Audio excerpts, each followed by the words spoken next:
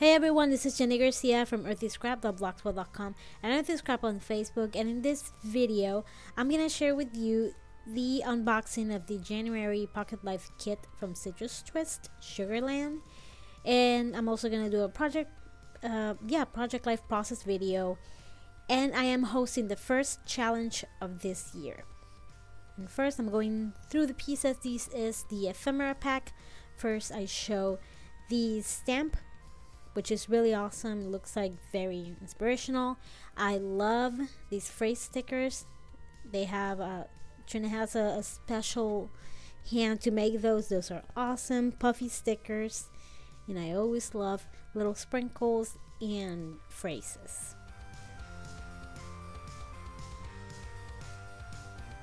This month they added a book page and I love these. These are awesome for accents or you can just use it to make uh, a pocket a pocket card. And that one was from the Nancy Drew book love the puffy alphas. And also in this month cork hearts.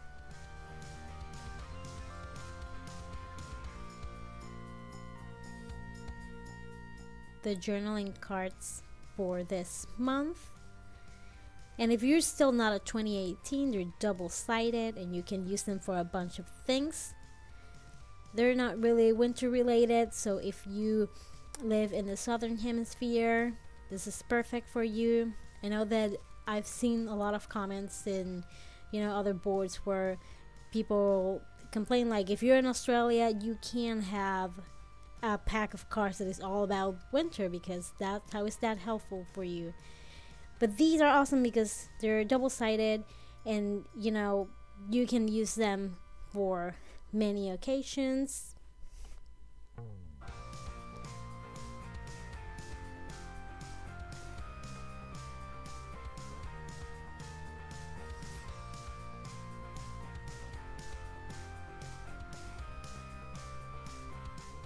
This month Trina added a special pocket life card and it says happy mail from Citrus Twist and on my desk.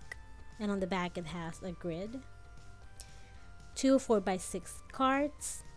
And I love these. These are perfect for the first uh, week or even the intro page to your Project Life album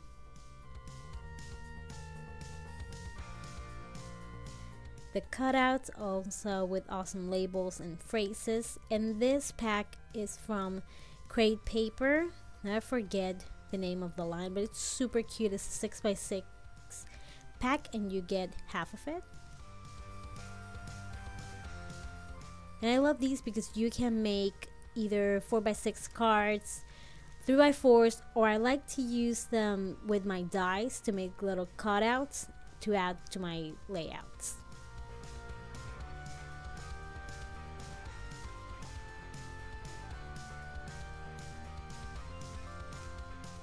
I have a really weird way to passing pages, but fun fact in the sixth grade, I had a teacher who spent a whole class teaching us how to pass pages so we wouldn't lick our fingers or, uh, you know, dog ear pages or anything like that. She was high maintenance, but it worked because I'm 31 and I still do that. They all come in an awesome little pouch. And I always divide my ephemera and I put it, you know, I divide the bigger bigger pieces and tags with uh, another section is labels, little words, little sprinkles, words that are scripted like the wonder and nap. That's how the whole pack looks and I got that little container at the dollar store only one dollar and I always pull out some washi that complements the collection because I cannot live without washi.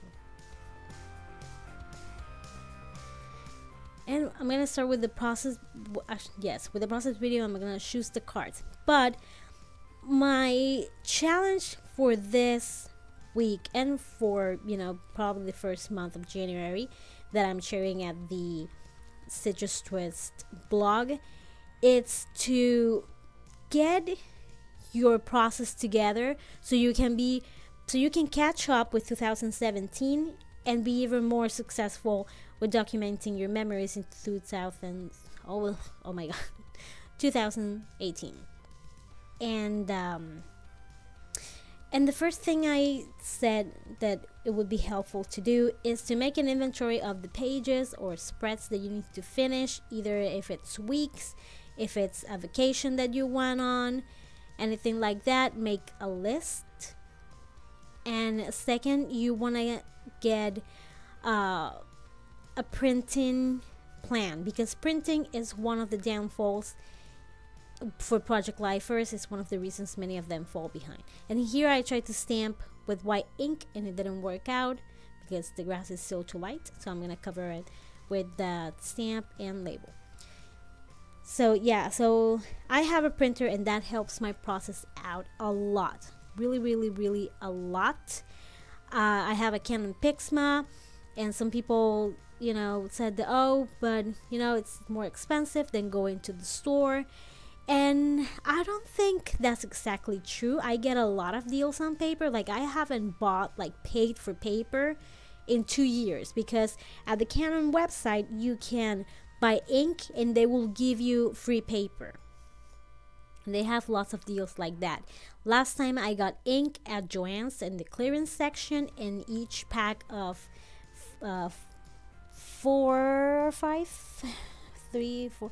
Yes, each pack of four was only $25. So that was a really good deal because in the website it's almost $50 just like in Amazon.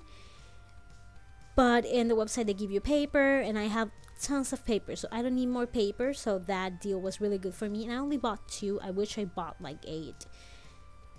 But you know, I was trying to not spend too much. So yeah, if you uh, send your pictures to print to a place, I would recommend to um, send your photos either every two weeks or at least each month. Like at the end, the last day, that day you send uh, your photos to your lab to get printed. And what I do is I edit my um, photos and I put them in my phone in. Uh, in a, in a folder that says print these photos. And that way I know what I need to print. Once I print them, I delete that. And I know that I'm not talking too much about the, the, the process, but you know, it's simple. I'm gluing stuff. I'm using stickers. You know the drill. Uh, but since this is the challenge and it's January 5th, I really want to help people out, especially people that are just starting or people that are feel like they need to catch up because they're so behind with uh, 2017 so i these are my tips to help you out. If you don't have a place where you want to send your pictures to get printed or you want suggestions you can go to the Citrus Twist fan page on facebook and ask there are many ladies there that do Project Life, so I'm pretty sure they would be happy to help you out. And once you figure out your printing, uh, you could think, look back to your year and think about techniques or memories or things that you want to document and how you want to document it. For example, this year I added a bunch of things from my phone, you know, screenshots, fake Facebook posts, text messages. So that's something I would like to use in the future. Uh, a technique that I would like to use, like for the last challenge of the year, Crystal challenge, um, the Citrus Twist peeps, to use stitching. And now I am hooked on that and I'm so happy. So I might repeat that during this year. And you know, so on and all the techniques that you have seen from me. And you know, this is my style of doing it, but Citrus Twist has other ladies that do Project Life that do it very differently than me, but we all use the same kit, and I love to watch those videos because it's weird how someone can take exactly the same thing as you and turn it into something completely different. So there's Adele, Inky Quill, uh, Dearly D, Diane, Pink Crafts, Pink Hippie Crafts on Instagram, and that's Crystal. Who else? Candace Perkins, her style is super clean and pretty and awesome. So depending on the style that you like and you do. And speaking of the team, this is back when I was accepted in the team, so I took a screenshot of that, like I was saying, and added that to my layout. So all the ladies have different personalities and themes and the way they do things. So it might be helpful to look a lot around, even if they're not the style that you would normally do. Because I don't do simple. I physically can't. I don't know. My hands just keep moving and putting crap on photos. But I love to watch ladies that do simple. I don't know why. And I was not happy with how that stamping was coming along, so I just put a sticker on top. Oh, if you want to stamp more on pictures, then you can try that too. So once you reflect about all of those things, you're editing, you're printing, what you need to do, how you want to do it, you need to create a game plan. And if you're behind from Project Life, I want to challenge you to make two or three, depending on your time. Don't feel guilty about it. If you can, then you can because things happen and I completely understand that. Two or three spreads weekly. You know, just get them done. Don't think too much about the things that you need or how you want to do them. You do it as best as you can and, you know, just work from there. And with my Citrus Twist kit, I make three projects for the design team. So that's three double spreads that I make using that kit and I always have leftovers enough for one or two. And once you put all the leftovers together from previous months that's a lot. So you can stick to one kit and that's gonna help you. That's another tip that I would recommend. Limit your supplies. When you go around looking, you know, turning your room around and looking for papers and all that, A, you make a huge mess, which happens any, anyway, so. But you also, you're not limiting yourself, so you spend more time choosing items instead of focusing in the memories that you have to document. In this photo, I was reading that book, Radium Girls. It's an amazing book. It's the best book I read last year. If you needed a recommendation for reading, that book was amazing. A little sad, but it was amazing. And um, and I'm happy with the way that I edit and print and the memory, the, the pictures I take. So I'm not changing anything about that and I also leave myself a lot of wiggle room to break my own rules. So I don't have that many rules. I would say that I don't have any, but you never know. So the less rules, the less you you know put pressure is less pressure to follow, you know, a certain amount. And I also picking the same sizes in photos like my vertical photos are always 3 by 4 and the horizontal 6 by 4 and that helps because then I always choose a similar kind of um, page protector I have A but I turn it into F all the time because it's cheaper I just bought um, a Studio Calico you know a pack actually sorry at the Studio Calico sale of 60 page protectors that are A. What I can do is use my fuse to fuse them wherever I need to. So if I need an F, if I need something that is not F but needs more pockets, then I use my fuse. So once you have, and I want you to get this, those things, especially your game plan, on paper. And I want you to share it Either share it on Instagram and tag me at Jenna Jenny or share it in the Citrus Twist fan group because it would help you with accountability. Accountability.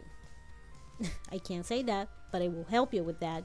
It won't help you pronounce it, but it will help you with it. It's almost like Weight Watchers uh, when you do the Fitbit challenge that because you have people around you pushing you or you have to, you know, put almost a front and documentation and show people, then it helps you reach your goals. So I want you to share your game plan on the Citrus Twist uh, fan group or Instagram, like I said. You can put it in your planner or you can put it in a place where you will see it often. Because that way you can, you know, scratch off weeks of your list or, you know, just look at it or it's around so you see it more often and, you know, help you out. And for, I have uh, two weeks in this spread, one for each page and I'm very flexible with that too because some weeks I don't have enough photos. And I was missing either a three or a one. I think it's yeah I was missing a one. So I use my Amy Tangerine stitching templates. And like I said ever since uh, Crystal's challenge I've been all about the sewing.